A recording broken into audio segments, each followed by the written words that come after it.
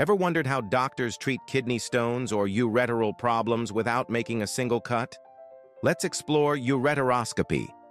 It's a minimally invasive procedure where a thin, flexible tube called a ureteroscope is gently inserted through the urethra and bladder, reaching up to the ureters or kidneys. The ureteroscope has a tiny camera that provides a clear view inside your urinary tract. If stones or blockages are found, they're either broken into smaller pieces using a laser or removed entirely using tiny tools. Once the job's done, a temporary stent might be placed to ensure smooth urine flow while the area heals. The best part? It's usually done as an outpatient procedure, meaning you can go home the same day. No scars, minimal downtime, and a big relief for patients.